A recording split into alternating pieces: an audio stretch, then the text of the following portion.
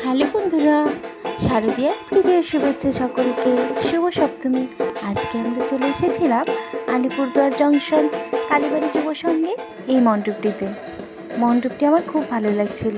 আর তার সামনে মহিলা ঠাকিয়ারা যেভাবে ঢাক বাজাচ্ছিল, তাতে মণ্ডপটির পরিবেশ আরও সুন্দর হয়ে গেছিল। এরপর আস্তে আস্তে আমরা ভেতরে চলে যাচ্ছিলাম।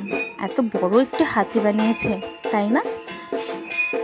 আলিপুরদুয়ার জংশন কালীবাড়ির এই মণ্ডপটি আমার খুব ভালো লেগেছে।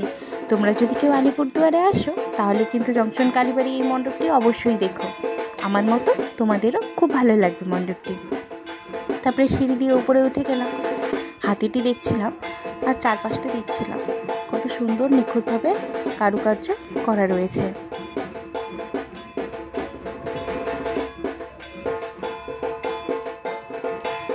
চলো এবার ভেতরে চলে যাই। প্রথম কক্ষটি ঢুকেই চোখে পড়ল চারিদিকে ধ্যানমগ্ন বুদ্ধ মূর্তি আর ওপরে রয়েছে একটি সুন্দর ঝাড়বাতি।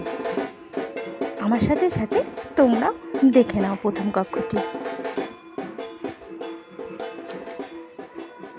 এরপর চলো দ্বিতীয় কক্ষে ঢুকে যাই। দ্বিতীয় কক্ষে ঢুকেই চোখে পড়ল রাধাকৃষ্ণের সুন্দর একটি মূর্তি।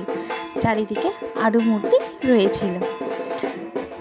আর বিভিন্ন জিনিস দিয়ে সুন্দরভাবে সাজানো।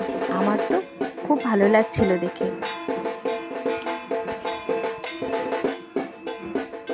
দেখো, কাজগুলো কত নিখুঁতভাবে করা, তাই না?